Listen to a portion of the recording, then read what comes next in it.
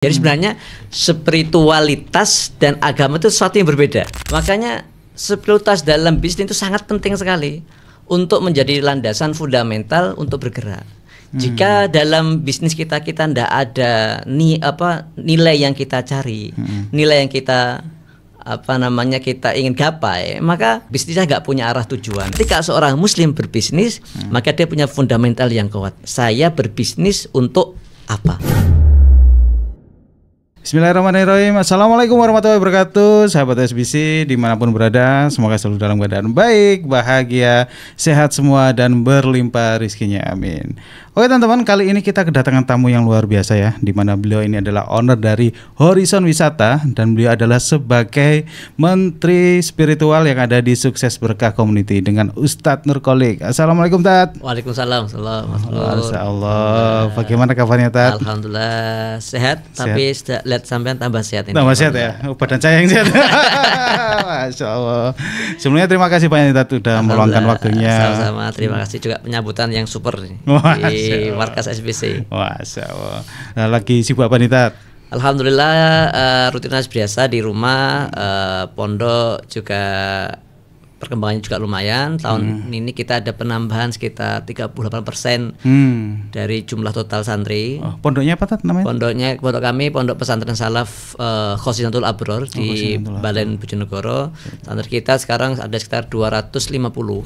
250. Kemarin ada penambahan Hmm. sekitar, sekitar 100 santri itu jadi kita lumayan pontang-panting. Oh. Santrinya tambah 100, kamar Hmm. mandi belum siap, kamar sapras belum siap, ah lumayan Oh, pusing ini alhamdulillah. Hmm. Dan juga uh, travel, Travel, ya. dan yang paling penting itu Horizon uh, itu ya? ya Horizon, Horizon, Horizon yang paling penting kegiatan di rumah itu nemenin orang tua sama istri Oh, Nah, gitu. Sama di SPC ya? di SPC pasti itu Pasti. itu wajib yang harus dilakukan Masih harus dilakukan. Tat, eh, mau sharing-sharing nih Tat, gitu kan? Eh, mungkin bisa di-share ke teman-teman kan.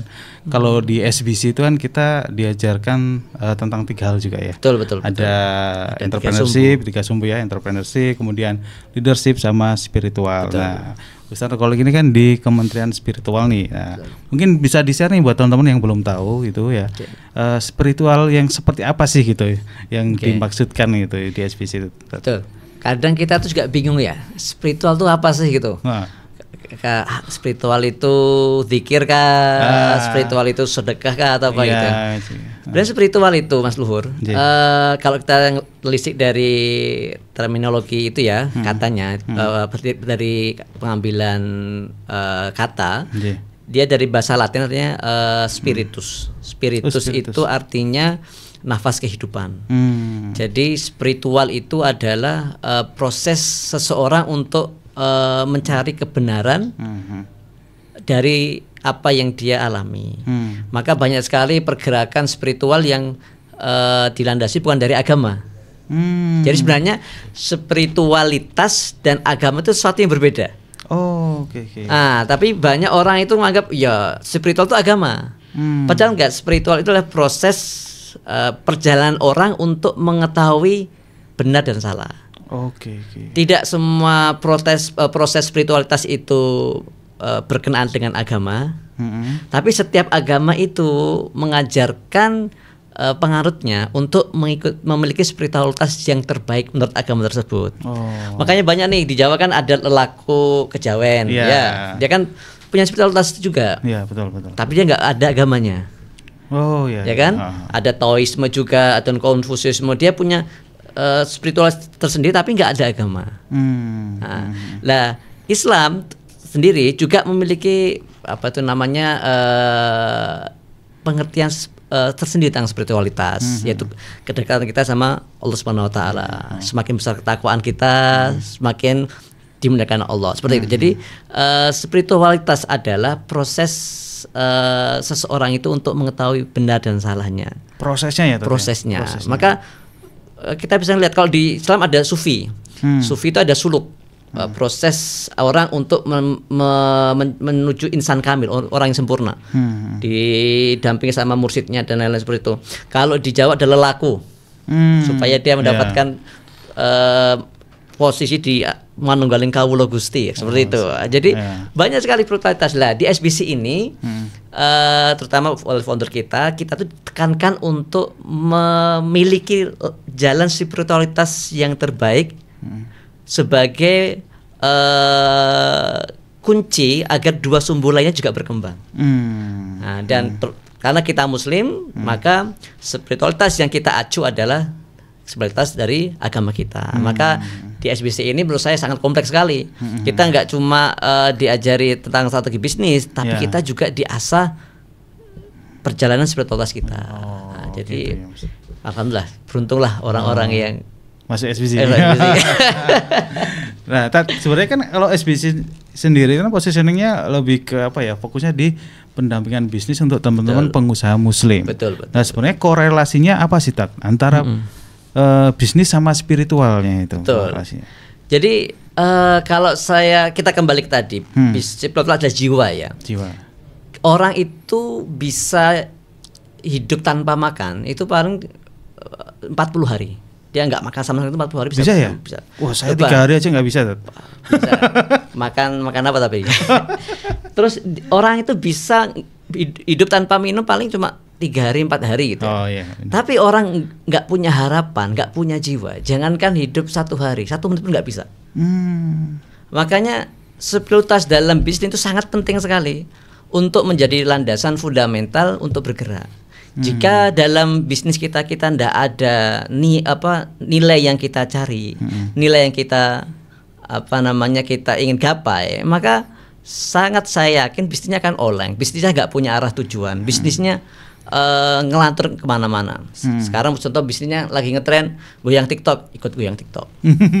bisnisnya lagi tren eh, slot ikut slot nah, ikut chip ikut chip akhirnya dia nggak punya jangkar Nah, Ya, ya. pentingnya spiritualitas itu mas Lur adalah untuk menegaskan eh, identitas bisnis kita Hmm. itu penting sekali untuk saya Hmm, hmm, hmm. Itu. Identitas bisnis. Untuk bisnis. Itu maksudnya seperti apa, Tat? contoh seperti ini dalam Islam bisnis itu bukan tujuan akhir Hmm. bisnis itu bukan poin yang harus kita cari Oke. bisnis itu dalam Islam itu dijadikan sebagai alat untuk menunjang keberhasilan kita menuju poin tersebut. Poin Islam apa? Ad- Ada dua. Yang pertama sebagai pemimpin di bumi ini dan juga sebagai hamba Allah. Tugas kita dua ini. Nah, bisnis adalah salah satu jalan ya, bukan satu-satunya jalan. Iya, salah satu jalan agar kita mampu mewujudkan tugas utama pokok kita ini. Jadi bisnis yang baik, bisnis harus yang tujuannya mensupport kita untuk mencapai di dua tujuan tersebut. Ini yang tidak ada di eh, selain Islam. Hmm. Eh, saya dulu pernah belajar itu di di kampus mengatakan bahwa orang Protestan itu mengatakan orang yang paling disayang Tuhan itu adalah orang yang di dunianya kaya. Hmm. Karena di dunia aja mereka udah kaya, apalagi di akhirat. Oh, Karena gitu gitu. ya. Oh. Tapi Islam nggak seperti itu. Hmm, hmm.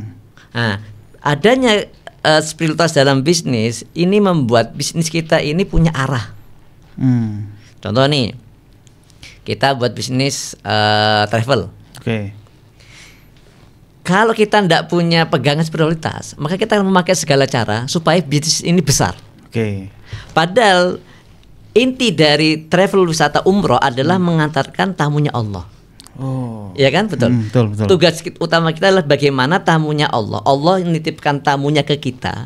Kita layani dengan terus sebaik-baiknya. Hmm, hmm, hmm. Tapi kalau kita nggak punya prinsip seperti itu, nggak punya spiritualitas yang bagus, maka kita anggap orang umroh itu ya market, yang harus kita dapat. Hmm, Ketika orang lain dap- mendapatkan eh, target market kita, kita sakit hati kok milih dia, nggak saya. Ah, iya. Hmm, hmm. Kemudian bagaimana cara kita eh, punya uang untuk block seat? Nah, akhirnya dia eh, ngambil utangan dari bank. Dia nggak jelas atau nanti naudzubillah sampai jaga lilin. ya kan? Nah, makanya pentingnya spiritualitas itu agar bisnis kita ini terjaga, bisnis kita ini memiliki arah yang arah yang jelas. Dan alhamdulillah di SBC ini banyak juga teman-teman itu yang baru menyadari ternyata bisnis kita ini bukan untuk menumpuk harta. Hmm. Bisnis kita ini bukan banyak-banyakan cabang, tapi Coach Duran mengatakan bisnis kita adalah supaya kita menjadi yang paling bermanfaat untuk orang lain. Orang lain gitu. gitu, Masya Allah. Saya ingat Mas Ruhul, uh, dulu itu kita diajak ke mana itu ke Lampung sama beliau. Oh di Lampung Hmm. ya. Itu waktu itu materi kita itu spiritual enterprise nggak salah. Oh, Oke. Nah, di situ teman-teman itu semakin terbelalak. Hmm? Ternyata dengan tujuan utama bisnis itu bukan cuma ya meningkatnya omset, Hmm. kemudian KPI tercapai, bukan.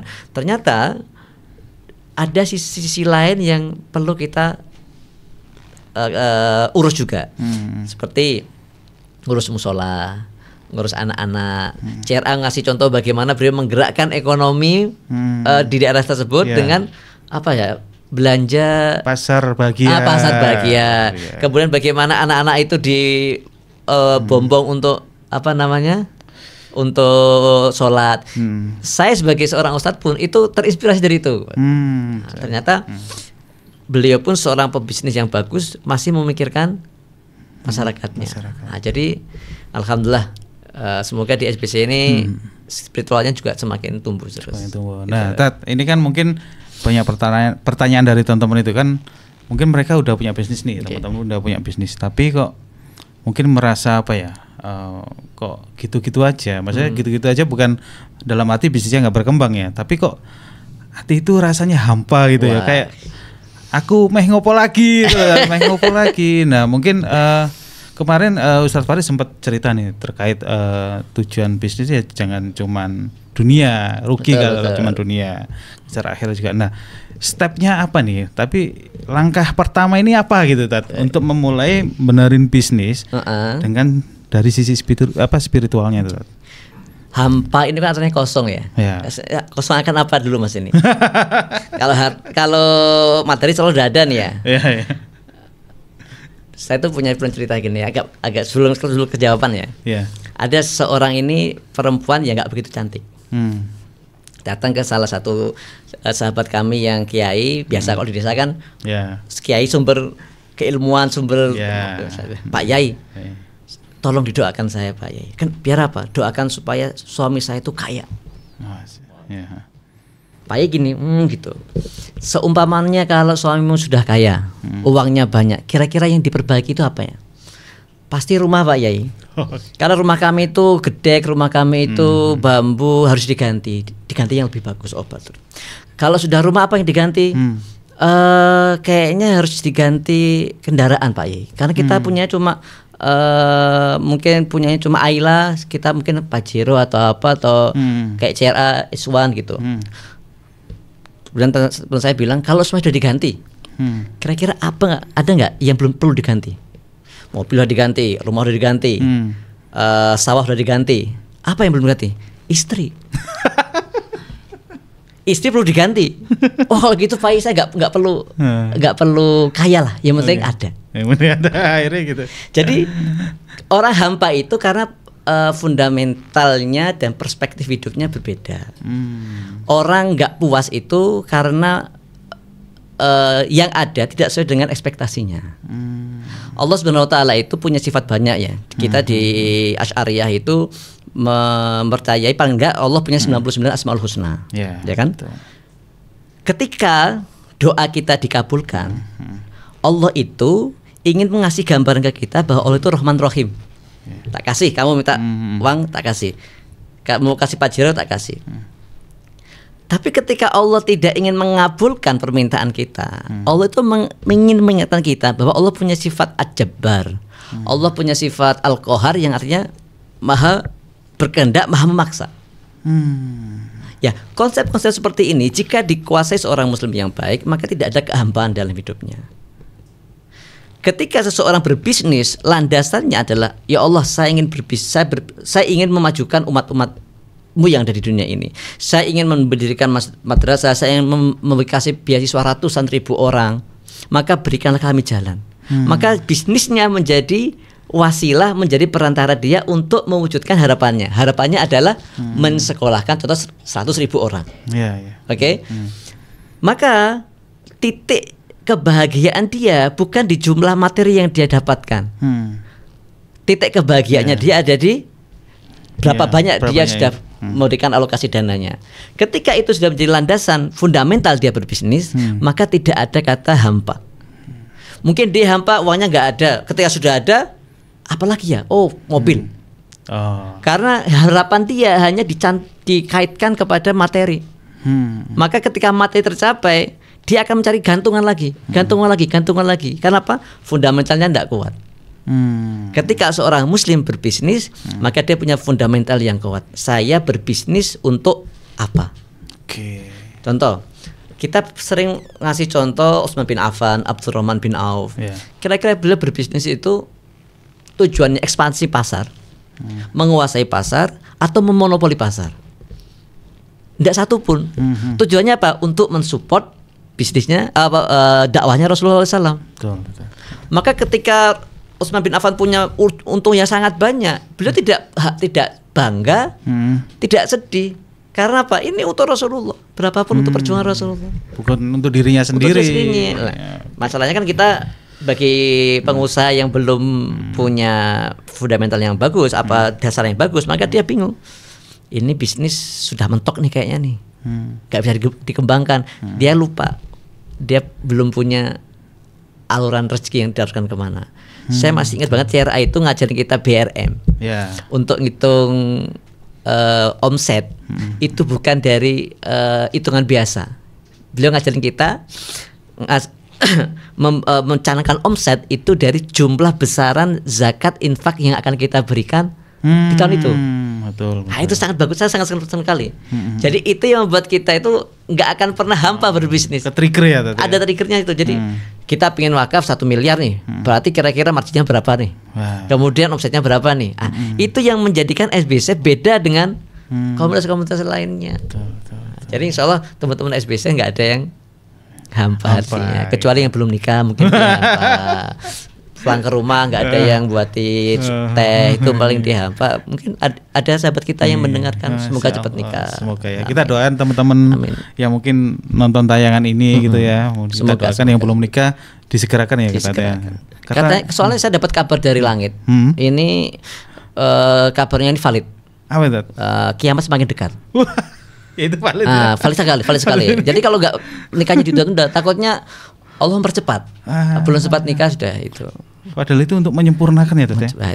Semoga dibuka hatinya orang. Semoga ya, semoga teman-teman yang belum ketemu jodohnya Amin, segera amin, dipertemukan amin, dan amin. segera menikah ya Tet ya. Amin. Katanya kalau menikah itu rezekinya juga semakin banyak ya. Iya betul sekali. Masya Allah. Oke Tat kembali lagi nih kan. Ngelantur ngalor gitu ini. Mungkin ada tips nih buat teman-teman yang mungkin sekarang kondisinya sedang berjuang nih Tat. Oke.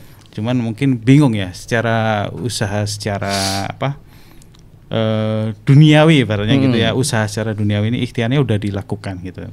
Mungkin ada tips mungkin amalan atau apa sih yang dia harus dilakukan dari sisi spiritualnya. Tat? Oke. Ada pepatah Jawa itu bilang seperti ini, Mas. Sing wis mari lalekno, Hmm. sing ape tekan entenono, sing wis ana syukurono. Yang sudah berlalu lupakan. Bisa berlalu lupakan. Yang akan datang tunggu, Yang akan datang tunggu yang sedang ada sekarang syukuri. disyukuri. Iya.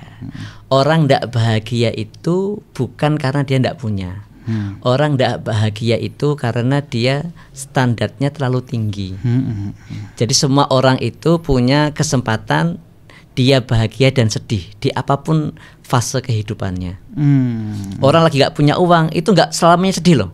Dia masih bisa ketawa, dia masih bisa senyum. Iya, iya. Orang banyak uang itu juga ada sedihnya kadang-kadang. Lah, teman-teman yang sekarang dalam posisi mungkin eh, jumut jumut jumut itu eh, skeptis, kemudian pu- lagi dalam keadaan yang eh, malas apa-apa, kemudian karena bisnisnya, mungkin karena apa ya, saya sarankan eh, kembali pada Allah, cari guru, Cari guru. Oke. guru spiritual dan guru bisnis yang mampu mendampingi dan ikhlas mendampingi kita. Hmm. Ketika kita tidak memiliki guru spiritual, maka kita akan mudah oleng. Ketika kita tidak memiliki, guru bisnis, maka kita juga tidak mampu untuk mengembangkan usaha kita. Jadi bagi teman-teman yang sekarang usahanya lagi tidak diharapkan uh, pertama harus husnudon bahwa Allah akan menyiapkan skenario yang terbaik untuk kita. Yang kedua, sambil kita husnudon dan ikhlas, cari guru, guru, Cari guru. spiritual dan guru bisnis ya. bisnis. Kalau nggak ada itu ya astagfirullah minna wa minkum. siap, siap. Nah, Tat, jenengan kan di Kementerian Spiritual ya. Nah, teman-teman di Amal Usaha SBC juga kan ada program umroh. Oh nih, iya, umroh. alhamdulillah alhamdulillah. Mungkin bisa di-share nih, Tat. Eh, apa sih fadilahnya dari umroh sendiri dan apa sih nanti ngefeknya nih ke bisnis saya nih. Oh, gitu. Ya, Tat. Monggo, Tat. Tat, Tat. Eh, s- mungkin saya ini agak out of the box ya. Iya. Teman-teman boleh boleh setuju nggak setuju. Ah. Rasulullah itu mengatakan, memang Rasulullah itu mengatakan al umratu ilal umrati kafaratun lima bainahuma. Wal hajju malburun laisa lahu jazaan illa jannah. Umroh satu ke umroh yang lain itu kata Rasulullah menggugurkan dosa di antara dua itu. Hmm. Dan tidak ada balasan yang cocok bagi haji yang baik kecuali surga. Hmm. Dalam artian umroh dan haji itu sebuah ibadah yang sangat besar fadilahnya.